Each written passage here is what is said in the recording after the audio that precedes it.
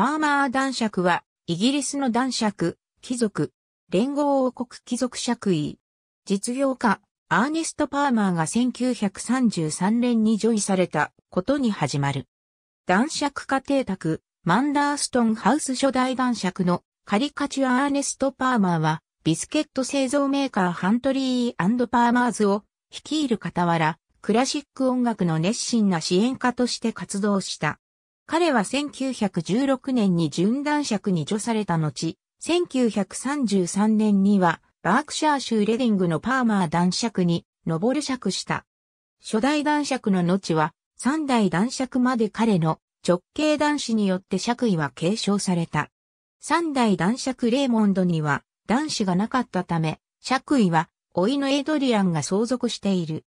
四代男爵エイドリアンは貴族院改革以降も貴族院に席を置く92人の世襲貴族の一人であり、クロスベンチに属して活動している。彼が2020年現在のパーマー、男爵家当主である。一族の邸宅は、バークシャー州、ダンズ近郊に位置するマンダーストンハウスであり、四代男爵も本邸宅に今日構えている。現当主である第四代、パーマー男爵エイドリアン・ベイリー・ノッテージ・パーマーは、以下の爵位を有する。法定推定相続人は、現当主の息子であるヒューゴ・ベイリー・ローハン・パーマー閣下。